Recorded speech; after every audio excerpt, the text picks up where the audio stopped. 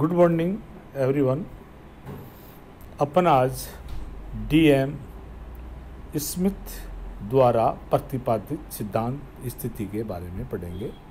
मैं doctor H N Maurya, government PG college Kaldara, associate professor geography में हूँ और मैं औद्योगिक भूगोल के बारे में आज आपको डीएम स्मिथ द्वारा प्रतिपादित सिद्धांत के बारे में बताऊँगा। इसमें अपन ये पढ़ेंगे कि डीएम स्मिथ ने राष्ट्रों की विचारधारा को लाभ के सिद्धांत के अस्तित्व के आधार पर आगे विकसित किया इन्होंने। और इस हेतु उन्होंने क्षेत्रीय लागत वक्र रेखा को आधार माना और मांग और मूल्य को स्थिर रखते हुए औसत लागत को एक स्थान से दूसरे स्थान पर परिवर्तनशील बताया। और सभी क्षेत्रों में मांग स्थिर होने के कारण उससे प्राप्त लाभ और प्राइस भी सभी जगहों से समान ही प्राप्त वस्तु होती है। और खर्च कॉस्ट को लंबवत आधार पर दर्शाया गया है इसमें। और जबकि दूरी को क्षेत्रीय स्थिति के आधार पर ए, सी, रेखा द्वारा एक क्षेत्र में होने वाले प्रति इकाई औसत खर्च को उपयुक्त मान के स्पेस वैल्यू कॉस्ट कर्व भी कहा जाता है इसको। और इस वक्र को क्षेत्रीय वक्र वक्र रेखा भी कह सकते हैं। और तीसरा नाम इसे औसत वक्र रेखा भी कहा जा सकता है। डायग्राम के माध्यम से अपन देखते हैं कि इस इसके अंतर्गत और मूल्य स्थित होने पर उद्योग स्थिति से लाभ और हानि आर सी रिले पर आधारित है। और इसमें एम ए मार्जिनल ए सीमांत लाभ और दूसरा है एम बी और ओ है ऑप्टिमम लाभ की रेखा और लागत है, जो सीधी रेखा है, और लागत रुपयों को दिखाई गई है और आड़ी रेखा इसमें एम ए ओ बी इसकी दूरी है, इसमें दिखाई गई है। चित्र में न्यूनतम इकाई लागत को बिंदु ओ द्वारा प्रकट किया गया है और इस औसत वक्र रेखा में एम ए और एम बी के बीच वाला जो क्षेत्र औसत खर्च और प्राप्त लाभ को समान करता है और दर्शाया गया है, मूल्य वक्र रेखा प्राइस कर्व औसत खर्च रेखा के बीच का अंतर लाभ या हानि को दर्शाता है। यदि लाभ मूल्य से औसत खर्च अधिक है, अर्थात औसत खर्च मूल्य रेखा से ऊपर बनती है तो ऐसी दशा में हानि होगी। किंतु यदि उद्योग औसत खर्च लागत रेखा मूल्य रेखा से नीचे यानी आधार की ओर बनती है तो ऐसी स्थिति में लाभ ही होगा। इस आरेख के माध्यम से अपन समझा सकते हैं।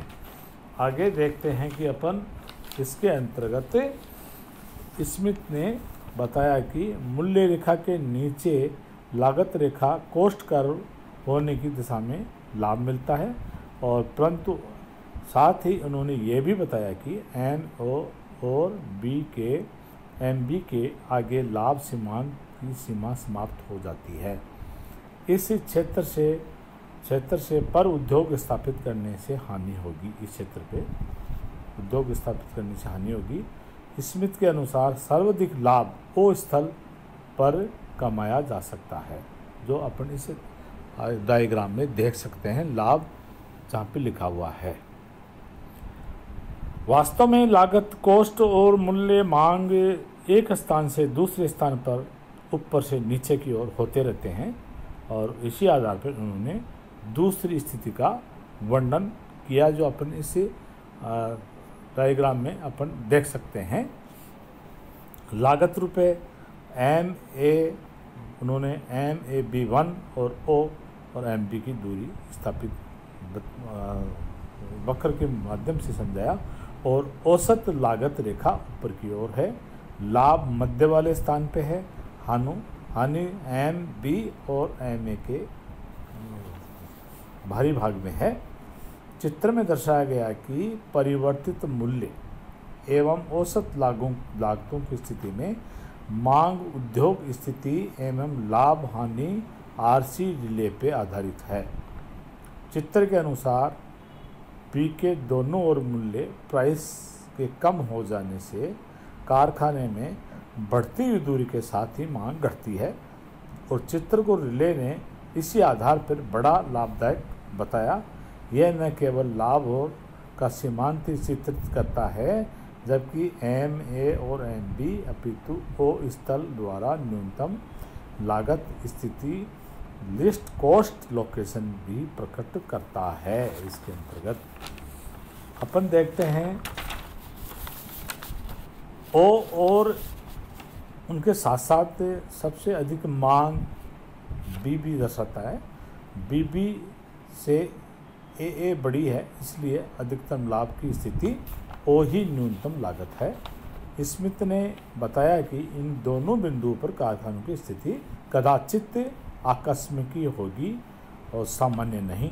उपयुक्त चित्र से स्पष्ट करता है कि लागत और मूल्य रेखा के अधिक तेज ढाल वाली होने पर एम ए और एम बी के मध्य की बीच की दूरी छोटी होगी, जो ये इसको प्रकट करती है कि जहाँ पर कहीं भी लागत और मूल्य में क्षेत्रीय अंतर अधिक होगा, ऐसे क्षेत्रों में लाभ पर्याप्त कम ही होगा। लाभ की मात्रा कम होगी।